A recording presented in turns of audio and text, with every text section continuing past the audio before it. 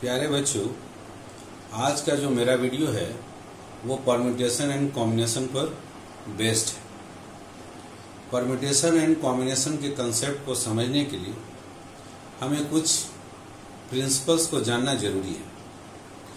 तो permutation and combination के concept पर आने से पहले हम लोग पहले कुछ प्रिंसिपल को समझेंगे, उसके बाद इसके कंसेप्ट को हम लोग देखेंगे। ये एक बहुत ही इम्पोर्टेंट टॉपिक है, जिसमें हर तरह के कॉम्पिटिटिव एग्ज़ाम में क्वेश्चंस पूछे जाते हैं और हर तरह के बोर्ड एग्ज़ाम जैक बोर्ड हो या सीबीएसई बोर्ड हो या कोई भी बोर्ड हो, हर एक बोर्ड में क्वेश्चंस पूछे जाते हैं। और ये जो आपका टॉपिक है, वो बहुत ही कॉम्प्लिकेटेड टॉपिक है।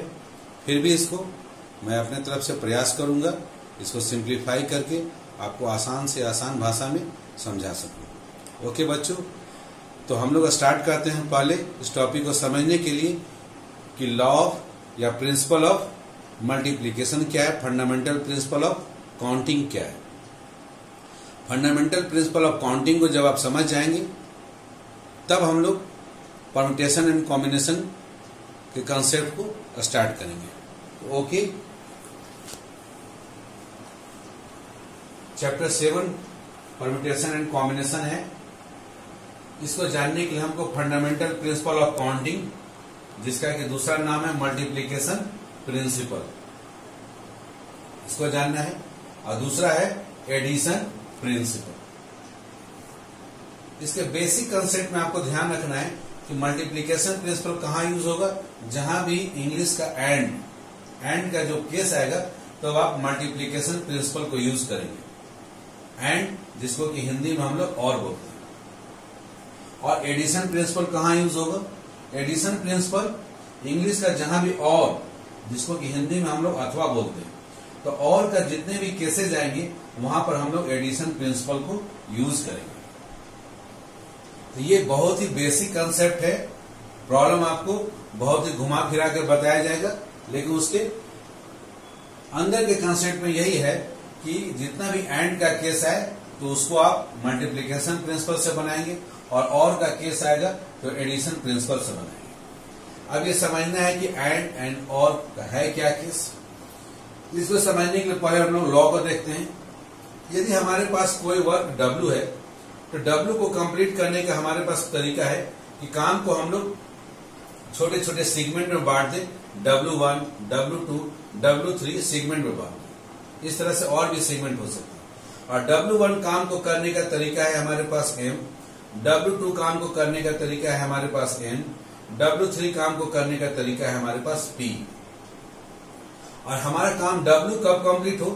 जब डब्ल्यू वन भी कंप्लीट हो जाए एंड डब्ल्यू टू भी कंप्लीट हो एंड डब्ल्यू थ्री भी कंप्लीट हो। अर्थात एक के बाद दूसरा फॉलो हो, दूसरा के बाद तीसरा फॉलोड हो और तीनों नेसेसरी हो। ये जितने भी सेगमेंट है, सभी के सभी सेगमेंट नेसेसरी हो। जब सभी सेगमेंट्स कंबाइंड हो तब जाके काम डब्ल्यू कंप्लीट हो तो वैसे केस में total number of distinct ways in which work W is completed is equal to हो जाएगा M into N into P इसी को हम लोग बोलते हैं multiplication principle if a work W is distributed in W one W two W three and so on यदि काम डब्ल्यू को W one W two W three में डिस्ट्रीब्यूट कर दिए ब्रेक कर दिए।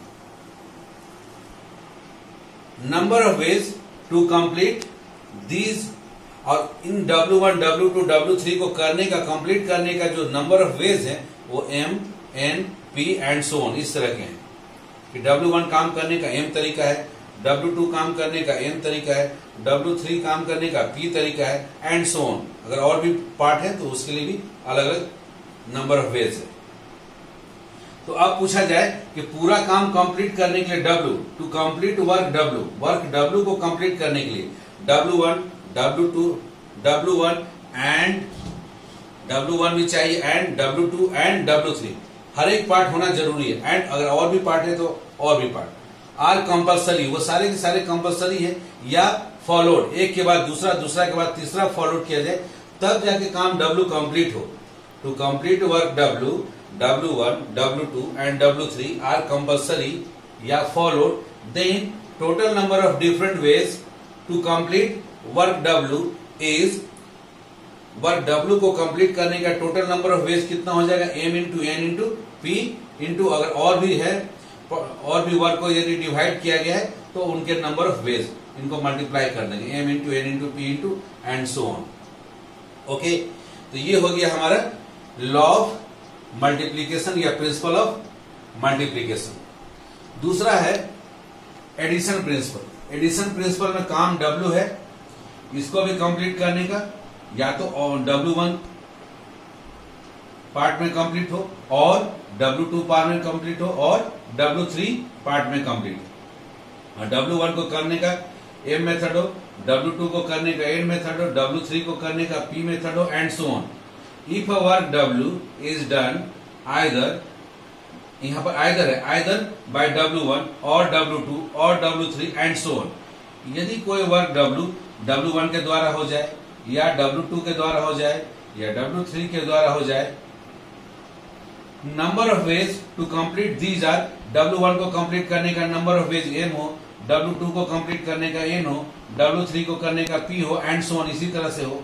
Hence total number of different ways to complete work W इस case में टोटल नंबर ऑफ़ वेज जो डिफरेंट वेज हो वर्क वर्क डब्ल्यू को कंप्लीट करने का, जहाँ की काम या तो आयदर और का केस है। यहाँ पर हम लोग लिखे हैं और आयदर और डब्ल्यू वन से भी काम हो जाए और अथवा डब्ल्यू टू से हो जाए और डब्ल्यू थ्री से हो जाए, और लिखे हुए तो टोटल नंबर ऑफ़ वेज यहाँ पर M plus N plus P and so on इस तरह के हो जाएँगे। ओके बच्चों? तो ये तो हम लोग प्रिंसिपल मैथमेटिकल फॉर्म में लिख दिया गया। इसको एक उदाहरण से हम समझाते हैं आपको।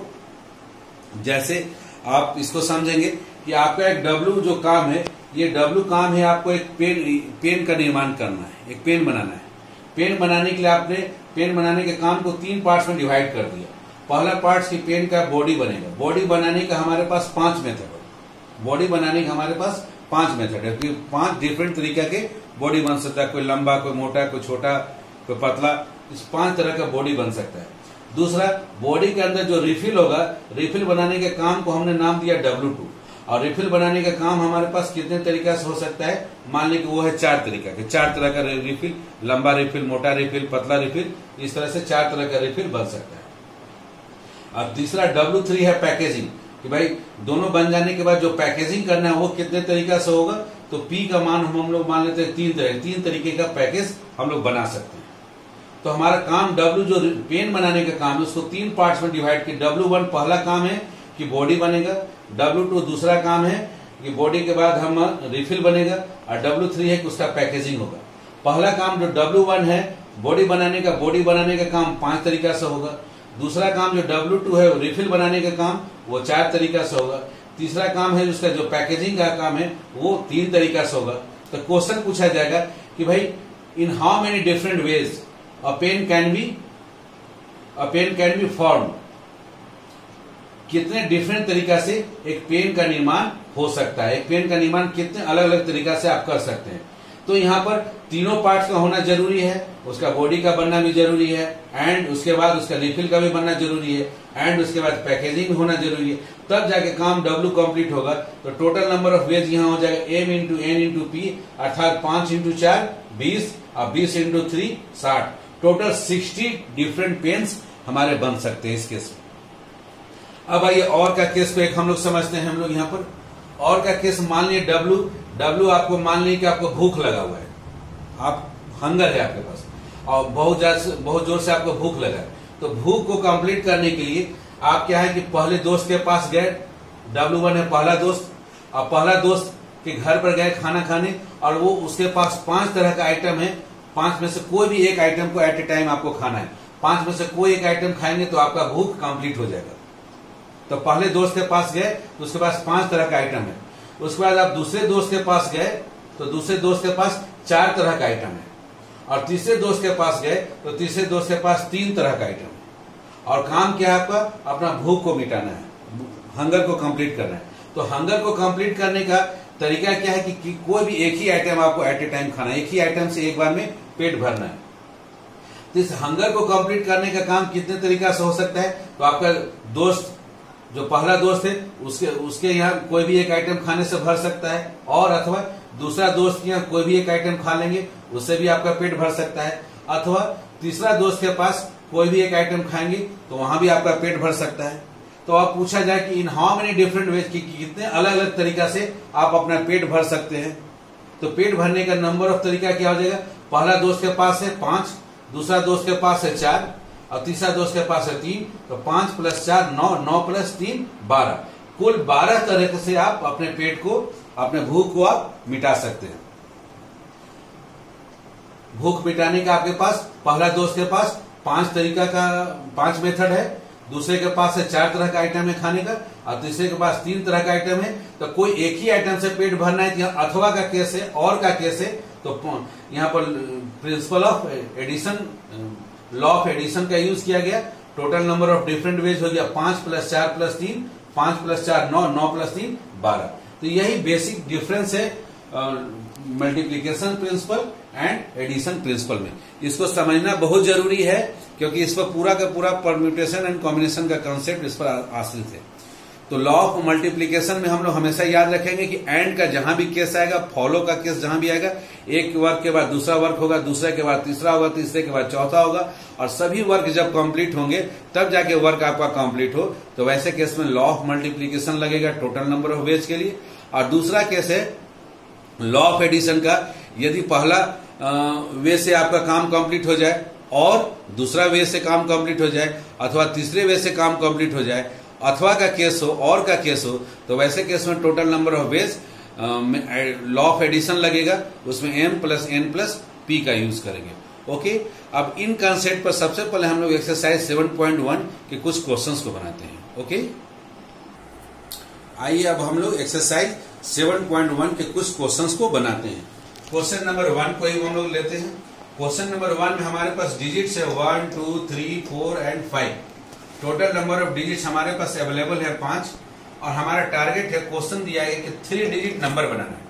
तीन डिजिट के कितने number one three one two three four and five से बन सकते हैं, ये हमको बताना है। दो केस में क्वेश्चन पूछा गया, पहला केस में बोला गया है कि ये डिजिट्स हैं, उन डिजिट्स को आप रिपीट कर सकते हैं। Repetition of the digits is allowed और दूसरा केस में है repetition of the digits is not allowed digit को आप रिपीट नहीं कर सकते। तो वन बाय वन हम लोग दोनों केस में देखते हैं। पहला जब हम लोग डिजिट को रिपीट कर सकते हैं और थ्री डिजिट का नंबर बनाना है तो यूनिट प्लेस में हम लोग क्या क्या रख सकते हैं? यूनिट प्लेस में हम लोग वन को रख सकते हैं टू को भी रख सकते हैं थ्री को भी रख सकते हैं फोर को भी रख सकते हैं फाइव को भी रख सकते हैं।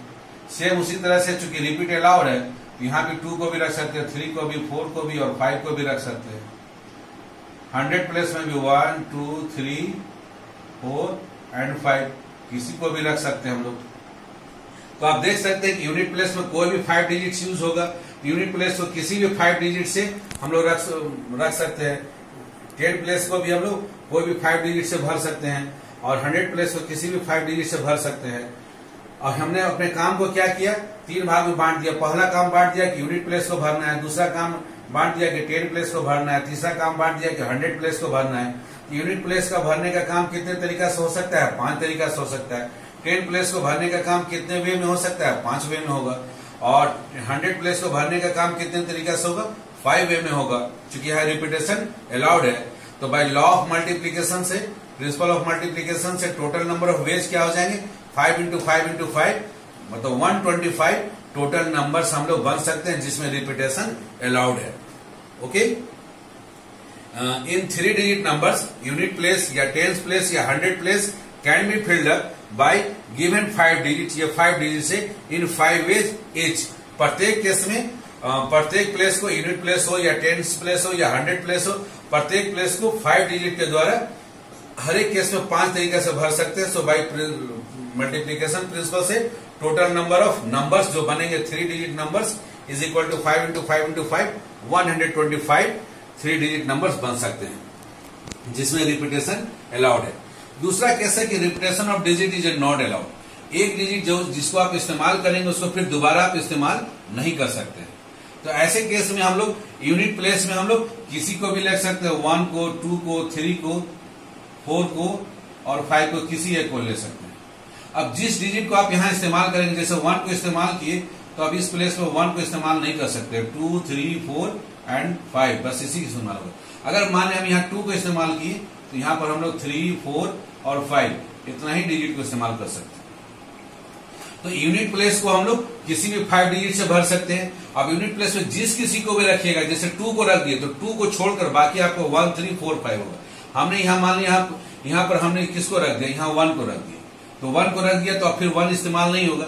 फिर यहाँ हमने किसको रख दिया? टू को रख दिया टेन प्लेस पर। तो फिर हम लोग वन और टू को इस्तेमाल नहीं कर सकते हैं, इसलिए हंड्रेड प्लेस में थ्री फोर या फाइव को ही इस्तेमाल कर सकते हैं। तो यूनिट प्लेस को हम लोग किसी भी फाइव डिजिट से पाँच तरीके से भर सकते हैं। अब जिस किसी भी डिजिट पे यदि यहाँ टू इस्तेमाल किया तो टू को छोड़कर बाकी फोर डिजिट बच जाता है। उन फोर में से कोई एक डिजिट यहाँ इस्तेमाल होगा। उस डिजिट को छोड़कर बाकी जो आपका हंड्रेड प्लेस है वो बाकी बचे हुए थ्री डिजिट के द्वारा इन थ्री वेज में आप फिलअप कर सकते हैं। सो so, यहाँ भी total number of three digit numbers by law of multiplication क्या हो जाएगा? Five into four into three five four जा ट्वेंटी ट्वेंटी थ्री जा सिक्सटी ऐसे सिक्सटी नंबर्स बनेंगे जिसमें डिजिट्स को आप रिपीट नहीं करेंगे। Okay? In three in three digit numbers, unit, tens, and hundred place can be filled up by five four and three way जिसको फाइव तरीके से भरेंगे। उदाहरण देके आपको दिखाएँ समझाने के लिए।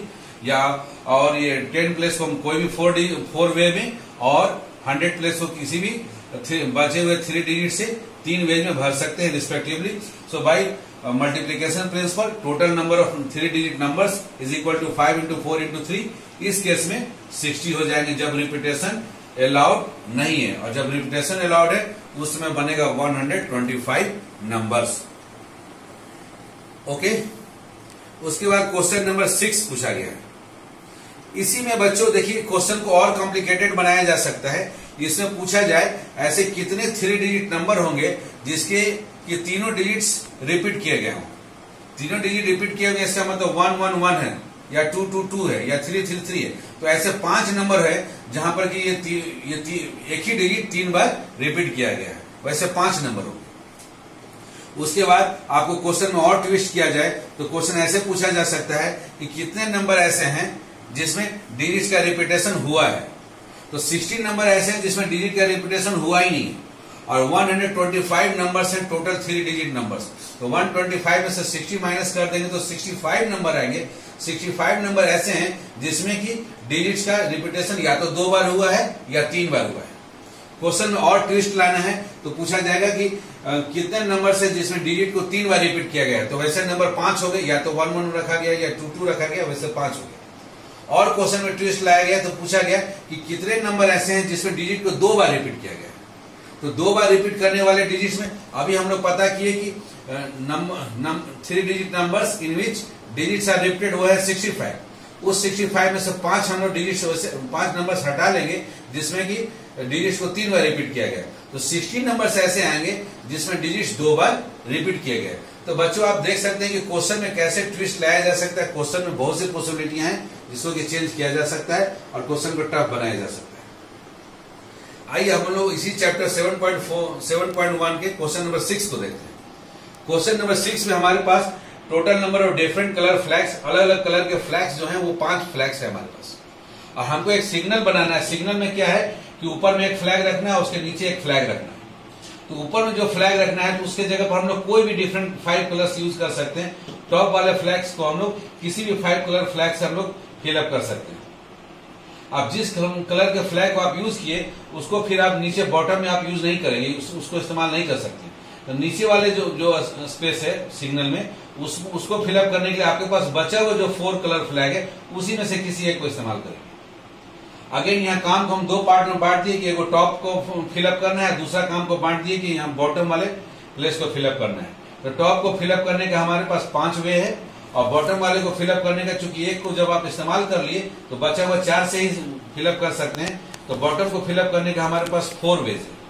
तो बाय लॉ ऑफ़ मल्टीप्लीकेशन से टोटल नंबर ऑफ़ सिग्नल्स जो होंगे is equal to five into four twenty signals हो जाएँगे। We have to form a signal हमको सिग्नल बनाना है यूजिंग टू फ्लैग्स को यूज़ कर वन बिलो दी अदर एक के नीचे दूसरा रखना है। इन इस signal at the top in इस सिग्नल प्रत्येक सिग्नल जो बन रहा है दो फ्लैग्स का एट द टॉप टॉप पर हम लोग any five flags can be use कोई भी पाँच फ्लैग्स यूज़ हो सकता है इन फाइव वेज कितने तरीका से होगा? तो आप टॉप में फाइव वेज में होंगे.